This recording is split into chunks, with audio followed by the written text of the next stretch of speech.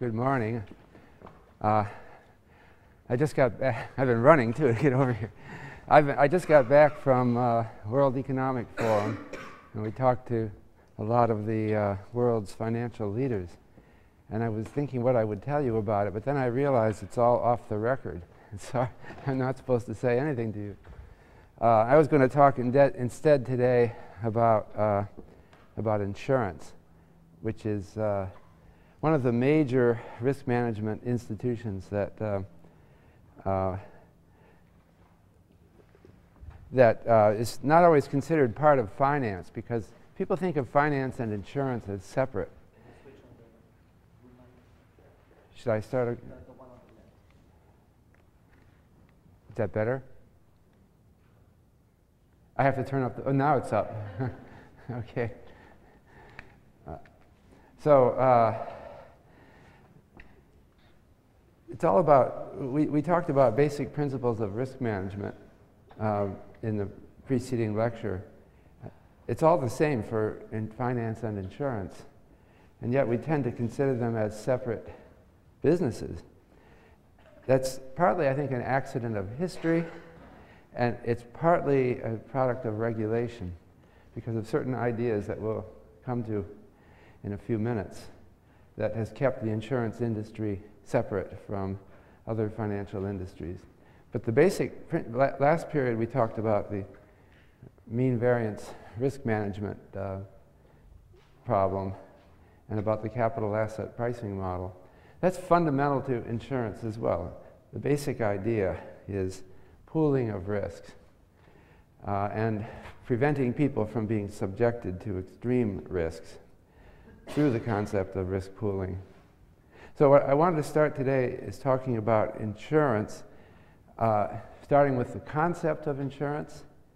Uh, and then I wanted to reiterate a theme of this course that financial institutions are inventions. They're structures that uh, someone had to design and make work right. Sometimes they don't work right. Uh, then I wanted to move to a particular example of insurance, uh, which was, uh, until recently, the biggest insurance company in the world, uh, called the American International Group, uh, or AIG. And it's particularly important that, that we talk about this example because on March 2 we have the former CEO of AIG, uh, Maurice Hank Greenberg, coming to our class. So uh, I thought it's appropriate that we use AIG. Well, not only because it was the biggest insurance company in the world, uh, but also because he's coming here. So uh, and then I want to talk about um, uh, regulation of insurance, that the insurance industry has always been subject to government regulation. I'll talk about types of insurance. Uh, your chapter in Fabozzi et al. Uh, is mostly about types of insurance. So I think you can mostly get that from the textbook, but I wanted to say some things about it. Uh, and then I was going to conclude with uh, thoughts about insurance and how important it is to our lives and what progress it still has to make. So, insurance, it doesn't sound like a very exciting topic, does it? I don't know. Uh, I'm going to try to make it more exciting. I guess you think of the insurance salesman coming knocking on your door. They don't do that so much anymore. They used to go around door to door and that was a depressing moment when the life insurance salesman came. And if you invited this person into your house, he would tell you about uh, the probability of dying and how, you, how tough it will be on your family, that sort of thing. Um, but to me, I think insurance is, uh, to me, it's an exciting issue because uh, it's about making our lives work. And it's really about preventing horrible catastrophes from, um, and, and, it involves mathematical theory that, uh, that underlies the concept. So to me, it's exciting, but I don't know if I can convey that. But the fundamental concept, again, is risk pooling. Um, The, the idea of insurance goes back to ancient Rome, uh, but only in very limited forms. Uh, but the idea of risk pooling is, is, uh, is kind of an obvious one. People uh, form organizations partly to risk pool.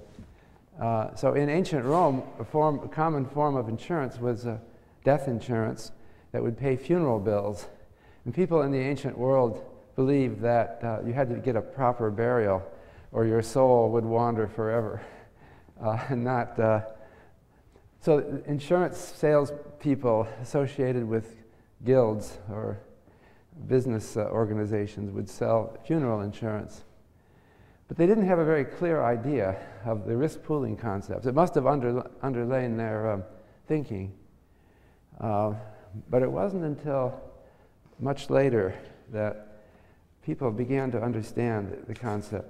There were, there were uh, examples of insurance throughout ancient and medieval times, but they're very blurred and uh, sparse. I, I remember reading an insurance, supposedly an insurance contract written in Renaissance Italy, translated into English, but it was hardly recognizable to me as an insurance concept, contract.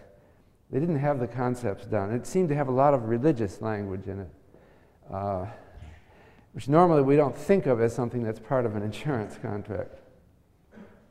But it, it seemed like insurance came in in the 1600s at the same time that certain concepts of mathematics were, uh, began to be developed. Uh, no, notably, the concept of probability became uh, more widely known in the, in the 1600s. Uh, uh, according to one historian, the oldest known description of the insurance concept um, goes to a um, uh, goes back to a uh, Count Oldenburg. Actually, it's an anonymous letter to Count Oldenburg written in 1609. And the letter says, why don't we start, I'm, I'm paraphrasing at the moment, why don't we start a fund in which people pay 1% of the value of their home every year into the fund, and then we will use the fund to replace the house if there's a fire. And now, quoting this anonymous writer, this writer said he had no doubt that it would be fully proved if a calculation were made of the number of houses consumed by fire within a certain space in the course of 30 years, that the loss would not amount by a good deal to the sum that would be collected in that time. Okay? It was just intuitive. He said, there can't be that many fires. And if we collect that amount of money every year, we can pay for all the houses that are burned down. And so he didn't, uh, didn't express any mathematical law, uh, but it's the concept of insurance. You don't find that before that, before 1609. So I guess we don't have uh, any clear statement of insurance before then. Actually, you can find a statement, approximate statement of the law of large numbers. Uh, and I'm thinking of uh, Aristotle, the uh, philosopher. He wrote in, uh, this is uh, in ancient times, and I'm quoting from De Caelo, his book, Aristotle, to succeed in many things or many times is difficult. For instance, to repeat the same throw 10,000 times with the dice would be impossible, whereas to make it once or twice is comparatively easy. See, he doesn't have the language of probability, but he knows you can't throw the dice a thousand times and come up with the same number every time. Uh, now we have a probability theory about it. So we know that uh, if you have n events, uh, each occurring with a probability of p, then the average proportion out of the, the, the n events that, uh, that occur, uh, uh, I'm sorry, you have n trials, an event occurring with probability p, then the standard deviation of the proportion of events that uh, occur is p times 1 minus p all over n to the 1 half power. Uh, and that's a theorem from probability theory. Uh, the standard deviation of the proportion of trials for which the event occurred assuming independence is given by this. And so you note that it goes down with n. As n increases, it goes down with, the, I should say, the square root of n. Uh, so that means that if n gets very large, if you write a lot of policies, then the probability of deviating from the mean uh, by more than uh, one or two standard deviations becomes very small, which is what Aristotle said. But, uh, but making insurance work as a, um, as a, uh, uh, as a institution to actually protect people against risk is, is, um, is rather difficult to achieve. Um, and that's because it has to, things have to be done right. So let me, let me just remind you, what are the basic types of insurance? This is what Fabozzi talks about. There's life insurance that insures people against early death. Of course, you still die. What it really insures is your family against the loss of a breadwinner, the father or the mother. So you, life insurance is suitably given to families, especially with young children, to protect the children. It was very important. It used to be very important when uh, there was a lot more early deaths. Now, very few young people lose their parents, so life insurance has receded in importance. Uh, another example is uh, health insurance. This is insurance, of course, that you get sick and you need medical care. Then there's property and casualty insurance, uh, insuring your house or your car. And then there's um, other kinds of, uh, you might call investment oriented products uh, like um, uh, annuities. Uh, this is a table in your textbook uh, by Fabozzi which lists these categories of insurance. But um, but any of these insurance types are inventions, and I, I want to um, specify that we have the idea that an insurance company could be set up that would say, insure houses against fires. And we, we just heard it intuitively in this letter to Oldenburg long ago. But to make it work, and to make it work reliably, involves a lot of detail. So it's like, you know, you can think of the idea of making an airplane, but to make it really work and to make it work safely uh, is another matter. So, first of all, insurance needs a contract design that specifies risks uh, and excludes risks uh, that are inappropriate. An issue that, moral, that, that insurance companies reach is moral hazard. Something rubbing when I. okay, I'll try not to. Wait, what's doing it? It's this one. Oh, okay. Moral hazard is an expression that appeared in the 19th century to refer to the effects of insurance on people's behavior that are undesirable. So uh, the classic example is you take out fire insurance on your house and then you burn it down deliberately in order to collect on the house. Or another example is you take out life insurance and then you kill yourself to give to support your family. Uh, these are undesirable outcomes. Uh, and they, they could be fatal to the whole concept of insurance because if you don't control moral hazard, obviously the whole thing is not going to work. So, what they do in an insurance contract is they exclude risks that are particularly vulnerable to moral hazard. Uh, and so that means they, um, you would exclude certain causes of death that, that might look like suicide. Uh, you can do other things to control moral hazard than excluding certain causes. You can also make sure that you don't insure the house for more than it's worth, right? If, if, if someone insures a house, there's no, and the insurance does not cover the full value of the house, then there's no incentive to burn it down. You might as well just sell the house, right? No, no point in burning it down if you'll still lose a little bit of money. Uh, so that's one of the problems that insurance companies face. And part of the design of the insurance contract has to prevent moral hazard from becoming excessive.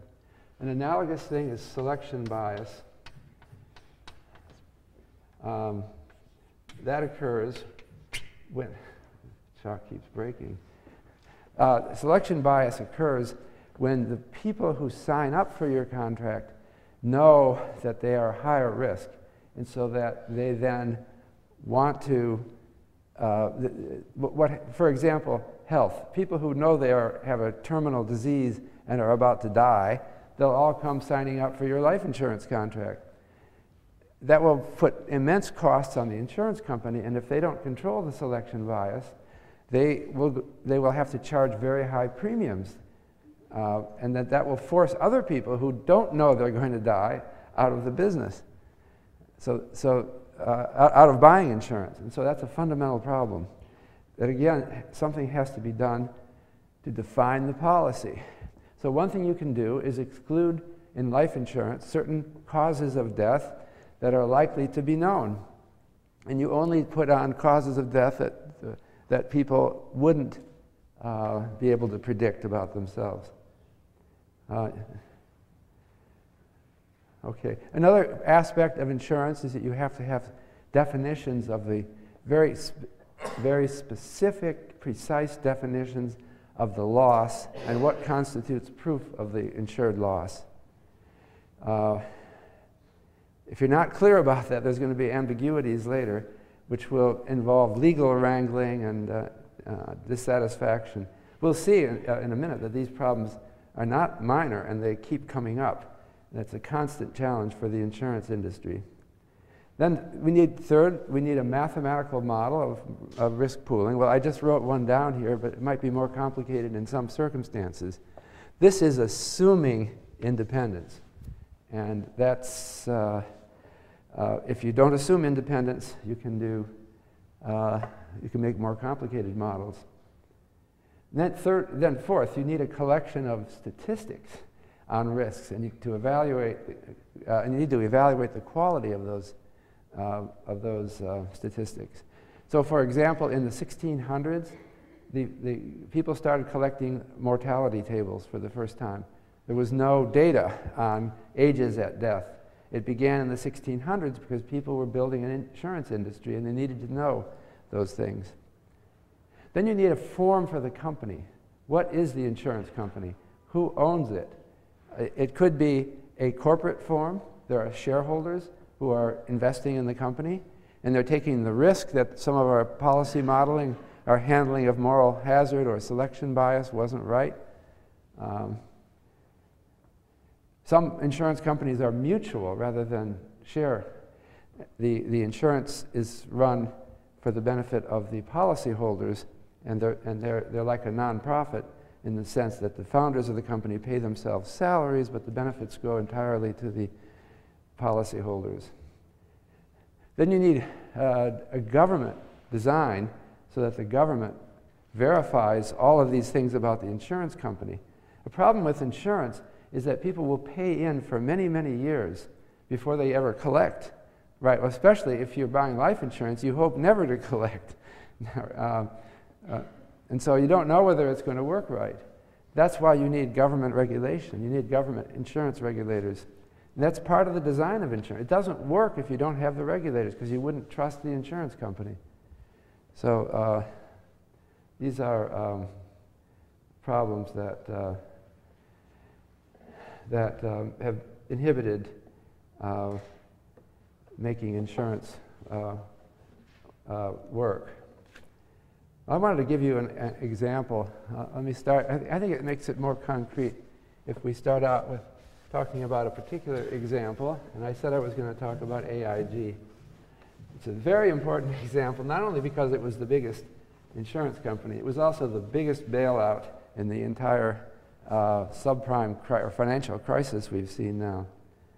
So, um, and it has an interesting story. So, AIG, okay, this is still doing this. I'm going to move it to the other side. It seems to not do well on my. since I'm left-handed. Um, seems to. So AIG, it's an interesting story. It was founded in 1919 in Shanghai. And you wonder why is it called American International Group if it's founded in Shanghai? Uh, it was founded in Shanghai called American Asiatic Underwriters. Uh, and it was founded by uh, Cornelius Vander Starr.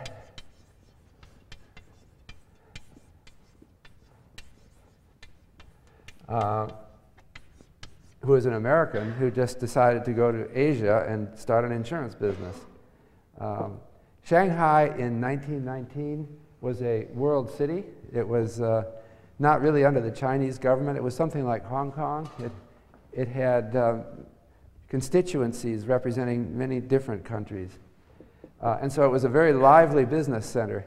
It's kind of interesting that the biggest insurance company in the world emerged from Shanghai and uh, also one of the biggest banks in the world, HSBC. You know the, uh, you know what HSBC means? They haven't, they don't emphasize it anymore. It's Hong Kong and Shanghai Bank Corporation.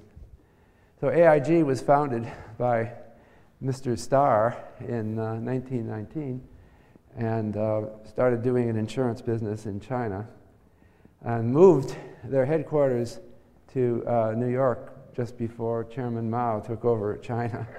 Uh, and then it became a uh, kind of a Chinese investment company in the United States. Um, Cornelius Vander Starr ran the company from 1919 until he died in 1968. So he was CEO for 49 years, a half century. And then when he, just before he died, he appointed uh, Hank Greenberg, who will visit us uh, as the CEO in uh, 1962. So that was 49 years under Starr. And then Greenberg took on and then ran the company until 2005. So it was 37 years under Greenberg. So two men ran the company for almost a century. Uh, since 2005, Greenberg is, uh, is, uh, has been succeeded by three CEOs. the usual thing. Uh, uh, the usual company has uh, turns over CEOs, but there's another interesting story that we might ask about uh, Hank Greenberg. That he joined the U.S. Army and fought in World War II, and among the people among his jobs then was to liberate Dachau, which was a, a, a concentration camp. Uh, so uh, in, um, this was not one of the extermination camps. It was a concentration camp for Jews and others uh, under the Nazis. And uh, the people were starving and dying. It's awful.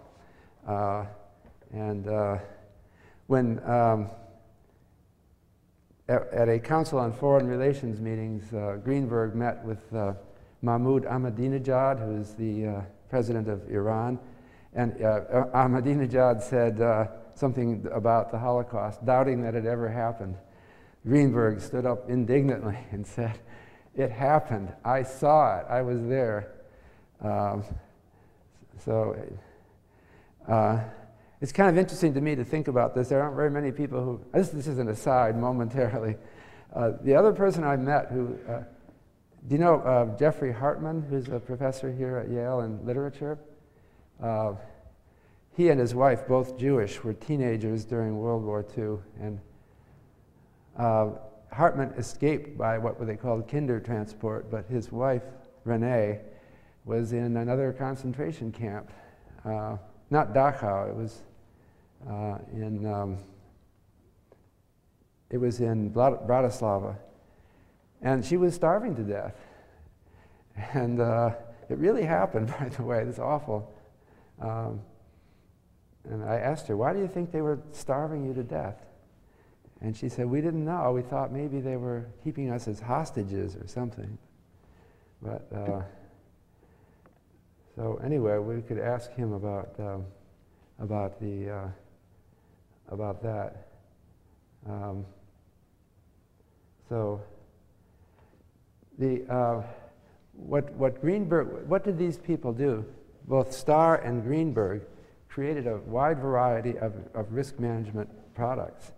Uh, it became the largest underwriter of commercial and industrial insurance in the world. Uh, it became a very large automobile insurer uh, and also a travel insurance company. But uh, Greenberg was forced out of the company after 37 years when Eliot Spitzer, who was the Attorney General for the state of New York, uh, claimed that there were some irregularities. Uh, and uh, uh, Greenberg was forced to resign. It turns out, though, that nothing that Spitzer said has held up. And so apparently Greenberg was uh, innocent of any of the allegations. The real problem occurred with um, AIG after Greenberg left. So Greenberg left in 2005, uh, and then the company absolutely blew up, and it absolutely had to be bailed out. And the reason it had to be bailed out was it was primarily due, almost entirely due to an, a failure of the independence assumption, I would say, that under they, their risk modeling, namely, they, the company became exposed to real estate risk. And the idea that their risk modelers had was that it doesn't matter that we take on risk that home prices might fall because they can never fall everywhere. Uh, they can fall in one city, but it won't matter to us. That's just one city, and it all averages out. But what actually happened after Greenberg left was the company took huge exposures toward real estate risk, and it, it fell everywhere. Home prices fell everywhere. Just exactly what they thought couldn't happen. Uh, so the, um, the company was writing credit default swaps, which are, I told you about those before. They were taking the risk. They were insuring, basically, against defaults on companies whose uh, credit depended on the real estate market.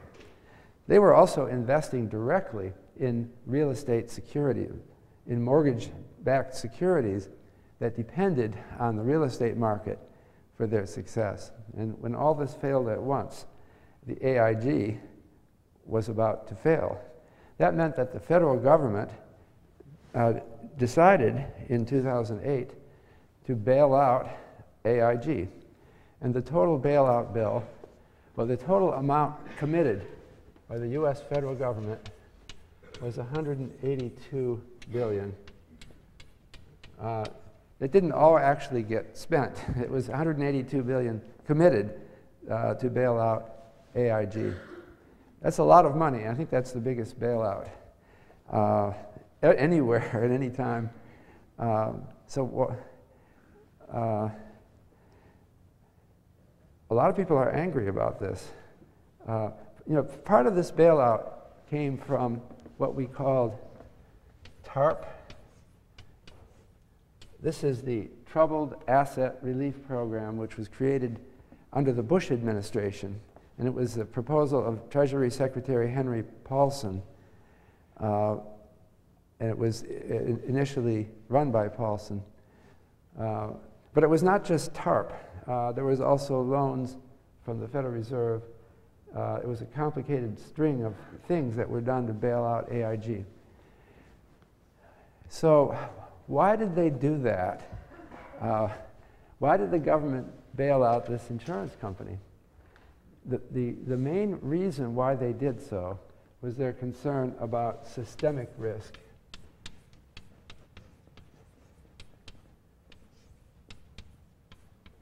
It wasn't, uh, I'll come back to uh, other kinds of bailouts of insurance companies, but the problem was that AIG, if it went under, all kinds of things would go wrong. All kinds of things would go wrong. All these insurance policies that it wrote on people's um, casualties, their, their, um, their travel insurance, their, um, any of these policies would all now be subject to, to failure because people who had these insurance would find that the company that they bought it through was disappearing. But it would go on even beyond that.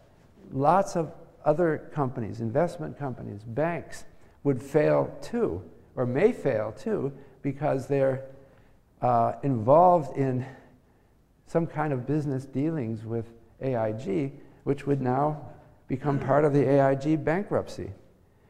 If AIG failed, anybody who had any business with AIG would be starting to wonder what's going to mean what's this going to mean to me? AIG owes me money or uh, what's going to happen?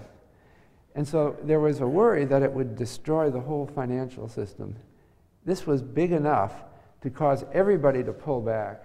And if everybody pulls back then the business world stops. It would be like a stampede for the exits everyone hears AIG goes under and so many people do business with AIG, they decided it was intolerable.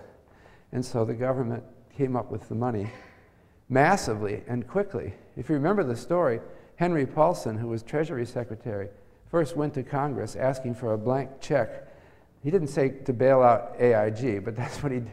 He got a sort of a blank check from Congress because the, the story was told, Paulson told the story that if we don't do this, if we let company he didn't say AIG, it Was, he actually asked for the TARP money before the AIG bailout.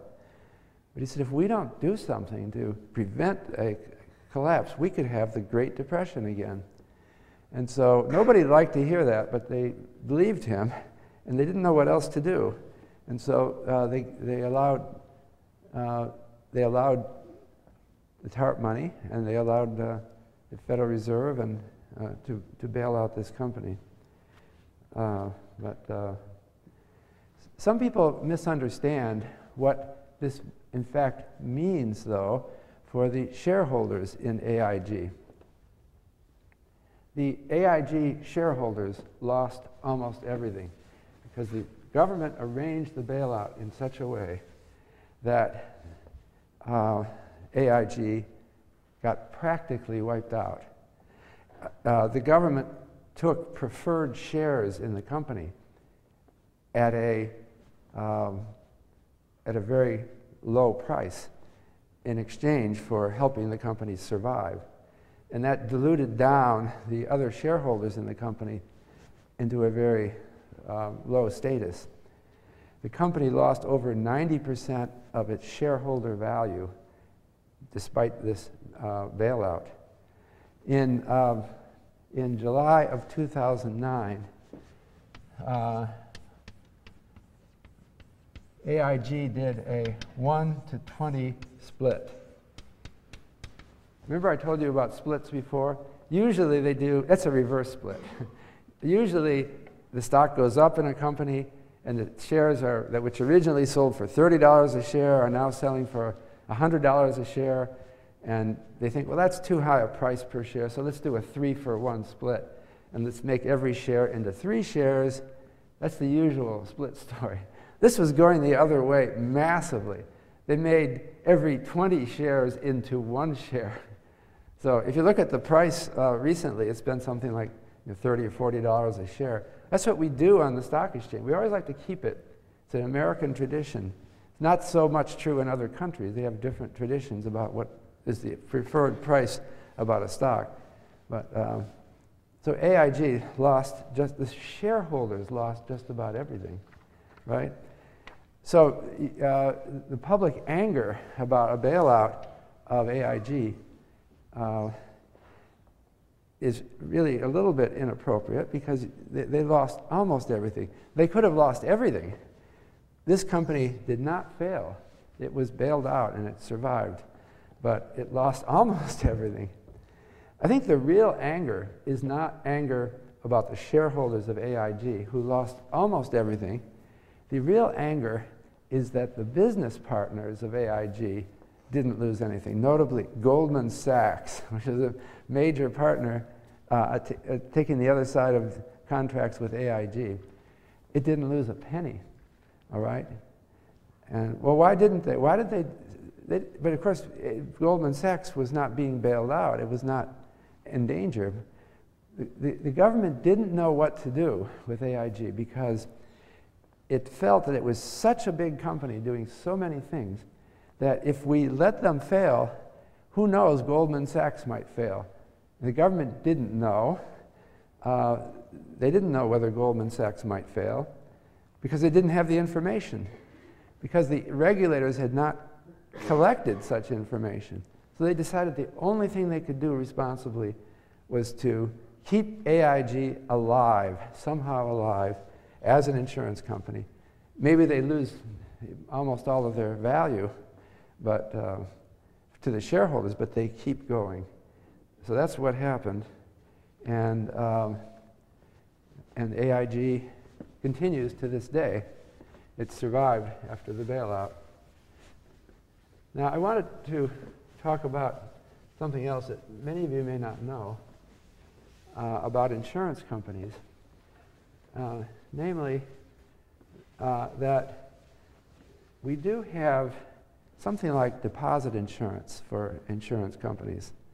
Do you know when you go into a bank, there'll be a little sign saying FDIC insured? You notice that when you go into a bank?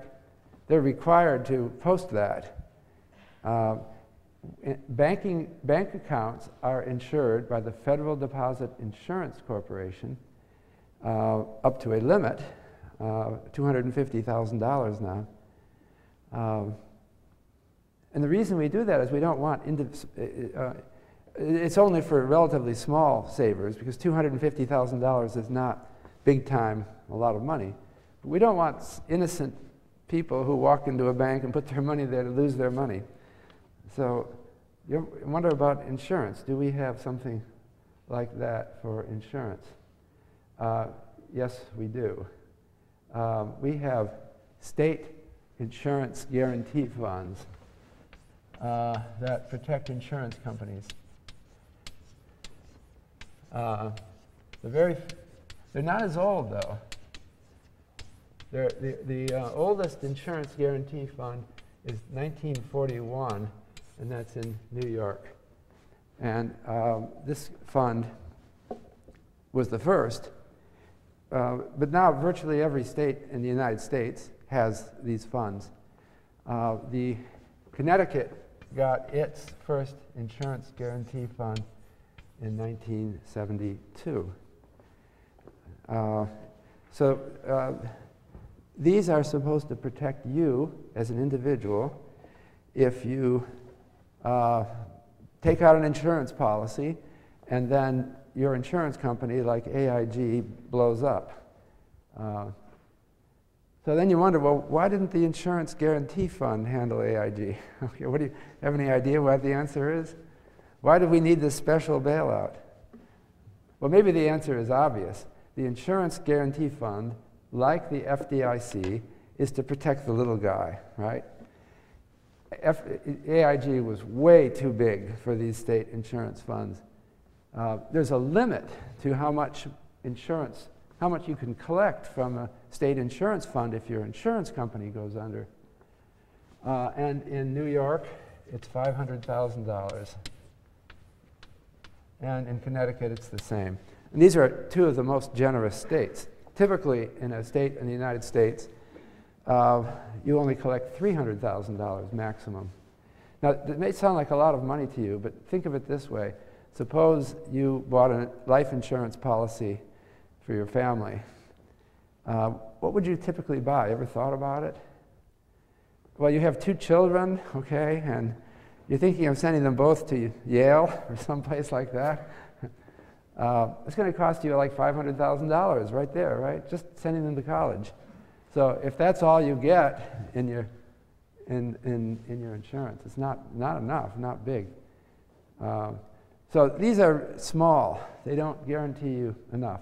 There's another thing about, uh, at least I know about the Connecticut uh, Insurance Guarantee Fund, and that is that uh, you can't play the trick that you do with the Federal Deposit Insurance Corporation. The Federal Deposit Insurance Corporation insures bank accounts for 250,000, all right?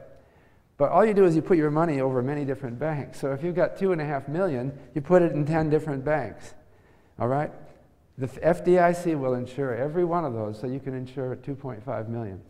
But Connecticut, uh, the Connecticut uh, Insurance Guarantee Fund won't do that. They'll limit you to 500,000 no matter how many different policies you got. Uh, there's another important difference between deposit insurance in banks and state insurance guarantee funds, at least in Connecticut. Uh, I know Connecticut does not allow a finance, a, an insurance company to advertise that they're insured. It's quite the opposite with deposit insurance, where the FDIC requires that they post that they're insured. So that's why you don't know about, why you don't hear about this. Um, but there's a fundamental lesson I'm trying to get to with all of this, and that is that uh, you have to um, you have to look at the insurance company that you buy insurance from. It's still a, it's still a wild world out there in the sense that uh, if, the, if you buy insurance from an insurance company and it goes under, um, well, you're protected up to 500,000, but beyond that, not. And you're supposed to watch out. Now, we also have state insurance regulators who are supposed to watch out that insurance companies are good, but they won't make good on you. Uh, so we have a Connecticut Insurance Department, for example, uh, which regulates insurance companies. Now, another interesting thing about insurance that separates it from finance is that uh, insurance is done by the state government. It's regulated, and the guarantee funds are state. The Federal Deposit Insurance Corporation is a federal, it's a national insurance program but the state insurance programs are, but the insurance is done entirely by the states. Uh, and this makes it difficult to do business as an insurance company because you have to be, you have 50 different regulators in the United States. The United States is particularly difficult place to, uh, to, uh, to, to, handle. Uh, so uh, that, that's because we had the, um, the McCarran-Ferguson Act uh, McCarran-Ferguson Act in 1945, which specified that insurance regulation is entirely for the state governments. Um, and uh, so, uh, so in the United States, uh, regulation of insurance is divided up across 50 different states, which is kind of makes it very difficult. It's very difficult because that's a lot of different regulator, reg regulators to deal with. One thing that we have is something called the National Association of Insurance Commissioners. Um, which is a, uh, it's not a government organization, it's a association uh, without any constitutional or any government uh, definition, NAIC. But what it does is it brings representatives from the different state governments and they meet together and they decide on model legislation that each gov state government could adopt uh, to allow uh, insurance to uh, to be standardized across different uh, state governments. Otherwise, we'd have a total, uh, total chaos in our insurance, um, uh, in our insurance regulation. Um, you might be aware that under the Dodd-Frank Act, which is the major legislation uh, that uh, was passed in 2010, uh, the Dodd-Frank Act creates a, net, a new federal insurance office. Uh, office. So it sounds like the federal government in the United States is getting into insurance. But in fact, no, it's not the federal government doesn't have any real involvement in the insurance industry. It's all done, it's all regulated at the state level. Uh, all the, well, it does have an involvement in a sense, because here's how it's going to work, apparently. The Federal Insurance Office was created uh, to look at systemic risk of insurance.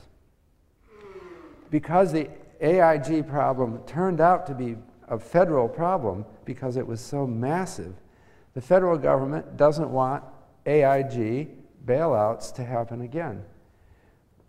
So uh, the proposal was made by a number of people well, why don't we regulate insurance at the national level? Other countries do that. Why don't we uh, do that? Uh, so, but the American tradition is too strong to leave to make such a major change. So, what the Dodd Frank Act did is it created this new office, and the Federal Insurance Office is going to collect information about insurance companies in order to discover which of them are proposing the kind of risk that AIG did, a risk that could bring down the whole system. So again, they're just looking at the problem that I highlighted at the beginning, that the whole insurance model assumes independence of risks, some kind of independence of risk so that pooling occurs. But if it's not really independent, then pooling isn't going to be successful.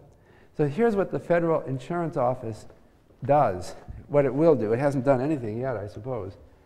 It will monitor insurance companies for being posing systemic risks. And if it decides that there is a systemic risk, another AIG brewing, then the, the, this office can recommend uh, to another agency called the uh, uh, the federal, the Financial Stability Oversight Commission, uh, Financial Stability Oversight Commission, created by Dodd Frank.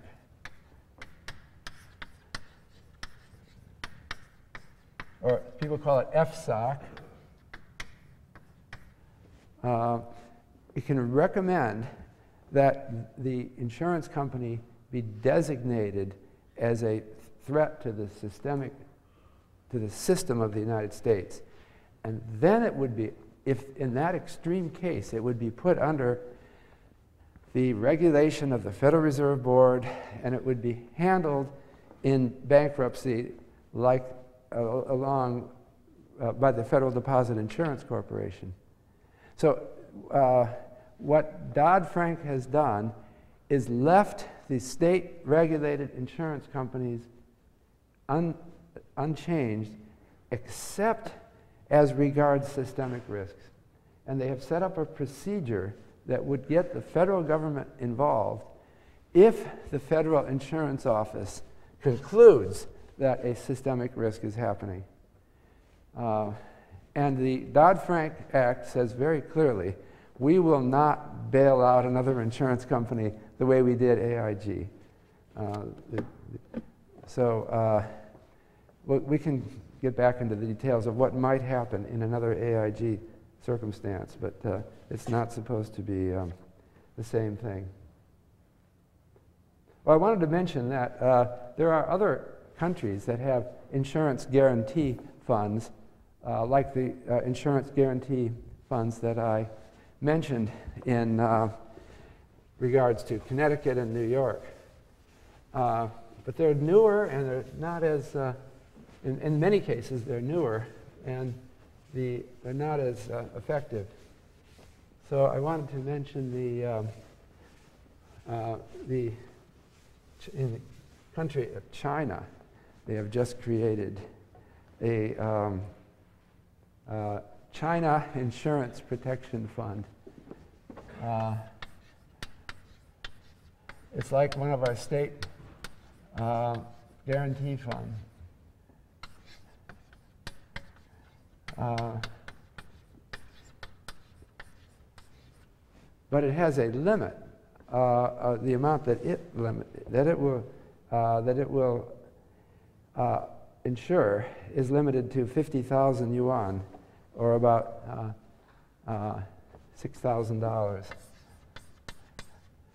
So that's much less developed. It's $500,000 in the United States.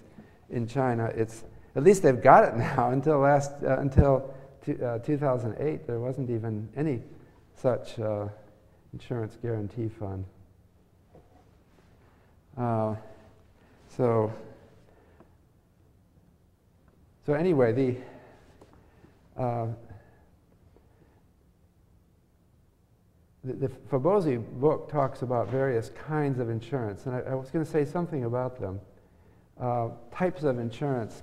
The biggest uh, type, the, the biggest category of insurance uh, privately offered is life insurance, which uh, in 2009 was almost $5 trillion.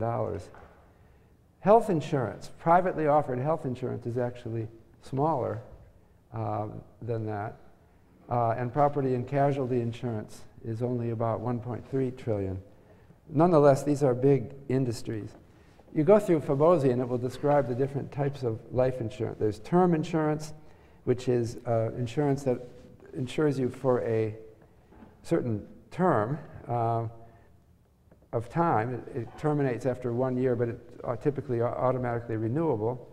Then there's whole life, which gives you uh, insurance uh, in, over a long time interval and builds cash value over the years. Uh, and there's other type. There's variable life, which has no guaranteed cash value, but invests in an account uh, for you. And, uh, uh and the insurance then uh, uh, it has an uncertain payout. so insurance goes back to the 16, life insurance goes back to the 1600s, as I was saying, because that was the most important kind of insurance. The most important risk that people faced was the death of a parent. Um, so uh, it's funny, many of these things develop. I, I mentioned that the uh, first multinational corporation and the first stock exchange ap appeared in the 1600s, the same time as the first insurance policies appeared. The first health insurance policy was proposed in 1694 uh, by Elder Chamberlain, and the first U.S. health insurance uh, plan was the Franklin Health Assurance Company of Massachusetts, uh, which started in 1850. I wanted to talk a little bit about health insurance because it's something that has uh, been an important problem. Uh, and uh, many countries have adopted national health insurance plans. They've not allowed, the government has come in fundamentally and, and has actually required insurance uh, for everyone. The government has not allowed insurance to proceed on, along private lines. The United States, however, has had a tradition of more private or free enterprise and has tried merely to regulate insurance and not to impose it as a government uh, plan. But there have been problems in the United States in that many people do not get insurance. Uh, because if you leave private insurance, uh, if, you, if, you if you don't have a government plan on insurance, you start to deal with problems of moral hazard or selection bias that encourage many people not to buy insurance. If you think that the people who buy health insurance are the sick ones and you're not sick, you're not going to buy insurance. Uh, moreover, there were other problems of moral hazard with insurance. One problem was if you have a private health insurance plan, the doctors have maybe an incentive to milk the insurance company, right? They can order too many procedures. Doctors don't care about you, the patient, living a long time. They just have an incentive to do a lot of procedures. So they won't do preventative medicine to protect your life. Well, they will if they have moral character, but the financial incentives are wrong. Uh, so the government in the United States has um, tried repeatedly to do things that would improve this problem. But it, see, this is what I'm getting back in the initial point that designing insurance is a matter of um, invention.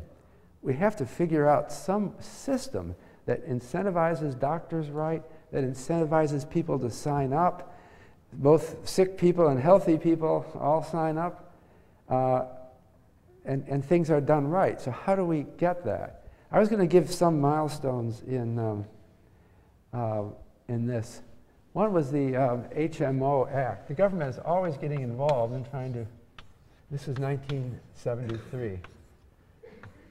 HMO stands for Health Maintenance Organization. A health maintenance organization is, is a insurance plan that uh, tries to deal with the moral hazard problem. Doctors are paid salaries. They are not paid for procedures. So doctors are employees of the HMO, and uh, they have no incentive to put you, give you an operation that you don't need, because their pay won't go up. The HMO Act of 1973 required employers with 25 or more employees to offer their employees a federally certified HMO plan. Okay. So one of the one of the first HMOs, I'll say this because you know about them, was the Yale Health Plan.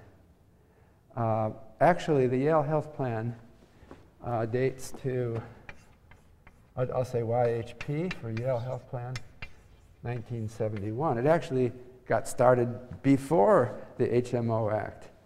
Uh, that's because uh, people here at Yale were thinking along the same, there was talk then already about the importance of preventative me medicine. And Charles Taylor, who was the Yale provost, uh, liked the idea. I know it was being talked about in Congress, but Yale didn't even wait for the government to require it. We did it in advance. Uh, so, uh, the, the, quoting Taylor, social responsibility of the university extends to the pioneering and the demonstration of improved methods for the provision of health services to population groups. So this was, uh, the, the concept is that it, it was a Yale community everyone at Yale belongs or has the option of belonging. Uh, and uh, uh, you're, you have a primary care uh, person there who has an, uh, who, whose in, instruction is to pr preserve your long-term health. Another milestone was the emergency the Emergency Medical Treatment and Active Labor Act, 1986, or EMTALA, Emergency Medical Treatment and Active Labor Act, 1986. What this did, see, so many people in the United States have no health insurance. And, and it's because of this problem I'm telling you about. There was the moral hazard problem, the selection bias problem. People say, I'm not going to buy it, it's too expensive because I'm not sick. That, that, that defeats the whole concept of it. You're supposed to buy it whether you're sick or not. Okay? And uh, so there, we had so many people that didn't have insurance. So what would happen when they got hit by a bus out there? They're lying on the street. Well, people would bring them into the hospital, and typically hospitals would sew them up and take care of them. But uh, they often gave really bad service because they weren't getting paid for this person. Uh, so the, the, what the EMTALA did in 1986 is it requires hospitals to, to take you in and take care of you. Uh, anyone needing emergency treatment, according to EMTALA, can go to any hospital with an emergency room and be taken care of. So that's the law. So we do have national health insurance in that sense. This is an example of what's called an unfunded mandate. The government just says the hospitals have to do it. How do they pay for it? Well, that's their problem. the government isn't offering them any money to do it. So what the hospitals do is they say, okay, suppose you get hit by a bus, all right? If you can't talk, they'll just treat you. If you can talk, they're in there asking you to sign papers promising to pay, pay for it eventually. So you go deeply into debt. Uh, that's one thing that happens. So EMTALA didn't really solve the health problem. We still have the moral hazard problem, the selection bias problem, preventing people from signing up. Uh, so, uh, uh and we still have the, you know, the, the, HMO Act was supposed to put us all, did I spell, uh, maintenance, I spelled this wrong. The, um, the, the, the, HMO Act was supposed to get us all into HMOs. Well, you are all in an HMO because you're part of a community that gives it to you. But uh, it, it, there's over 40 million uninsured Americans, and not even in any insurance plan. And people who don't have any health insurance miss diagnostic procedures. They get diabetes, they get high blood pressure, and so they're not treated until they're flat out and they're in the emergency room. And that's not the way to handle these conditions. So it's really not good what has happened. But that brings us to the 2010 Healthcare Acts that were uh, created by President Obama. There's actually two of them. I won't, I won't write their names, but uh, so in 2010, uh, 2010, the U.S. government passed a landmark uh, pair of bills that um, were addressed to solving the selection bias and moral hazard problems and, and reduce the number of people who are uninsured dramatically. So this is what the government did. It's setting up new, uh, it hasn't happened yet, but the procedures are there to set it up. They're creating new insurance exchanges that will offer insurance to be purchased by the, by the general public. And they're going to require, they're not going to require you to buy the insurance. They're going to put a tax penalty on you if you don't. In other words, you, you don't have to buy insurance because you're a student here and you've got insurance. But suppose you're just out there in the world and you're not affiliated with any, uh, with any insurance plan. Then you will actually have to pay a penalty of something like $700 a year if you don't. So the idea is you, you, you pretty much are going to do it because you don't want to pay the penalty.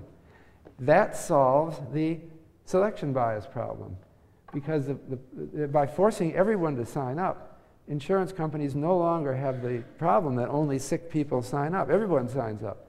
So they can lower their premiums because you know, it doesn't cost them as much per person when they've got healthy people now. So there's a penalty for individuals in not buying insurance, and there's a penalty for companies who do not buy insurance for their employees. That's another part of the selection bias problem. So we get almost everyone covered by insurance, and that will bring the, the, the cost down. Moreover, insurance companies that are on the new insurance exchanges cannot say no for pre existing conditions. This happens all the time now. If you already are sick, uh, an insurance company is going to offer you a really high, uh, they'll say, we'll insure you, but we'll, we'll demand a really high uh, monthly premium. And so you, you say, I can't afford that because um, it, doesn't, it doesn't work. Now that won't happen. Uh, I wanted to conclude with some thoughts about uh, the insurance industry and, and, where it's going. And uh, we've made, it seems painfully slow to me. I talked about insurance being invented in the 1600s. That's 400 years ago. And still we had over 40 million Americans with no health insurance. Pretty obvious that we should have it. But we have problems making it work. And we still have problems uh, that, uh, uh, uh especially in less developed countries. So uh, um, let me mention the, the, um, another insurable risk which, which was be taken uh, very badly. You know that last year there was a terrible earthquake in Haiti. The, uh, the loss of life in Haiti and the loss of damages was generally not insured. Uh, the, uh, uh,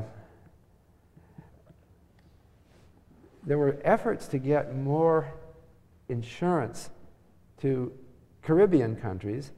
In uh, 2007, the Caribbean Catastrophe Risk Insurance Facility was trying to promote insurance uh, for the Caribbean region, but it had reached only $8 million in insurance as of the Haiti earthquake.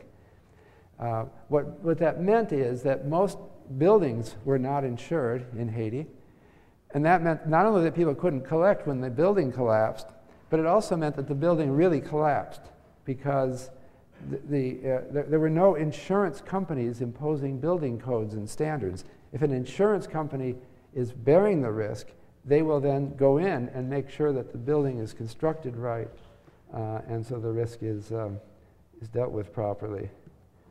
Um, in contrast, uh, the, a similar catastrophe in the United States uh, was the Hurricane Katrina, which uh, destroyed much of the city of New Orleans. But in contrast, uh, many or most people in New Orleans had insurance on their house. Uh, and studies show that the insurance, while there were complaints, the insurance actually worked. And most people, uh, uh, I think, well, uh, about 200,000 homes were severely damaged, and payment was about $40,000 per home. Still, there were problems in New Orleans. When, when New Orleans came, there were, there were two kinds of risk. One was wind damage, and the other one was flood damage.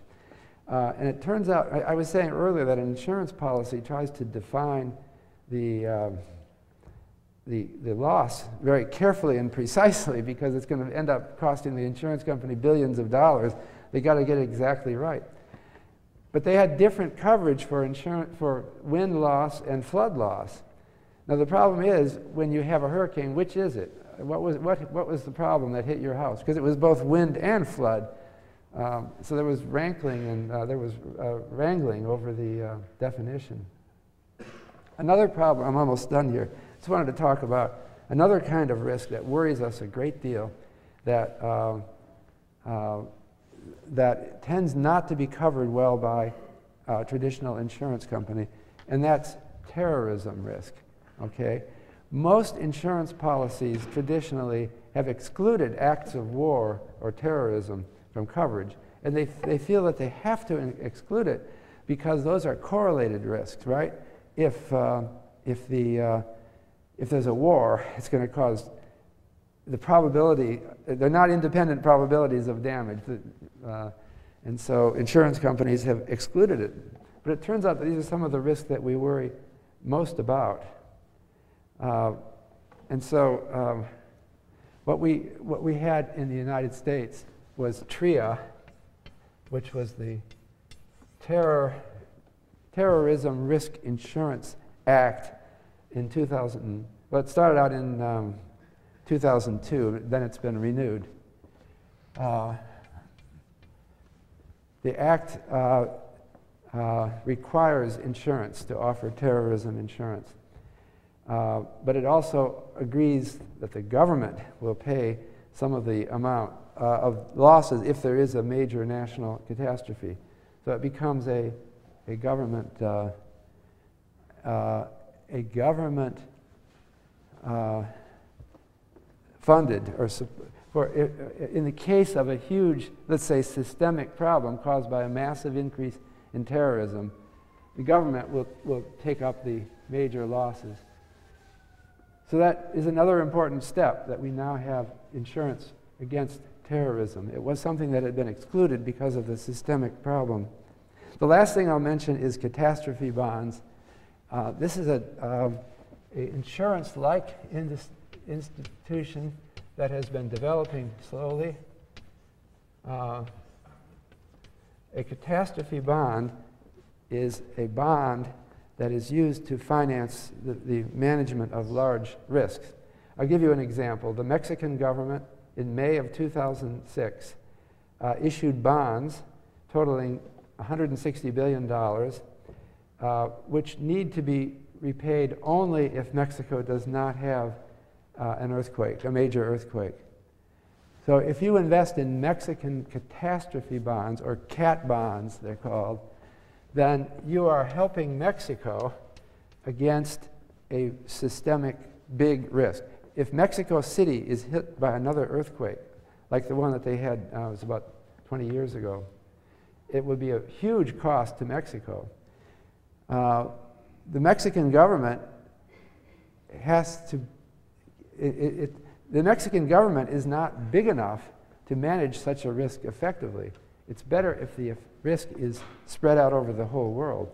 So this is an example of a kind of uh, uh, risk management contract that extends the scope of insurance, actually making it more financial.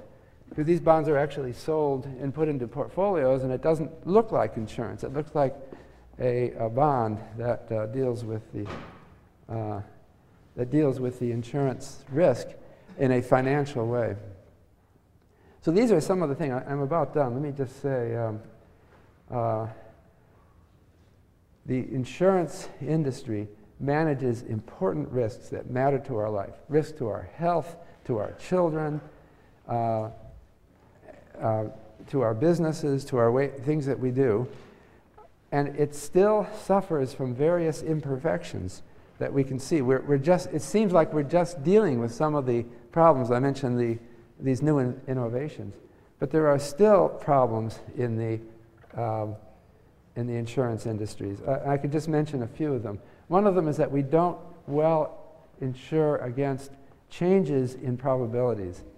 So, for example, recently in the American South, there have been, for unknown reasons, there's been a growing mold problem. The funguses are growing in houses. And if, uh, if you can damage a house and it has to be torn down. So the probability of this risk is going up. So insurance companies are raising their rates reflecting the probability, but there was no insurance against raising the rates. Also, hurricane risk seems to be going up, right? Because we've seen, because of global warming, hurricane risk is going up. So insurance companies have been raising their uh, insurance premiums for that reason. But that, uh, that, that um, is not a risk that's insured against. So if you buy a house down in Florida and then hurricanes get much worse, you might not be able to afford your insurance policy. We also have problems that insurance policies are not indexed to inflation. We have life annuities. Uh, I, I, haven't really discussed those, but, but there are policies that would benefit from inflation indexation. And so th these are still some examples. I think that the insurance industry is a, let me just conclude with this thought. It's like any other industry it deals with very important real problems that require technological solutions. The solutions are difficult, and we are slowly moving ahead and improving our ability to deal with these problems. Uh, but it's a science, it's a technology, it's got a long ways to go, and I'm predicting that over your careers in the next half century or more, we'll see a lot of advances a lot of changes in the insurance industry, like the changes I talked about here. Uh, and these changes will lead to uh, a much better uh, lives for all of us. So I'm talking about efficient markets next period, which is a favorite topic of mine. It's about why you can't beat the market. Uh, or maybe you can. That's what I like, like about it.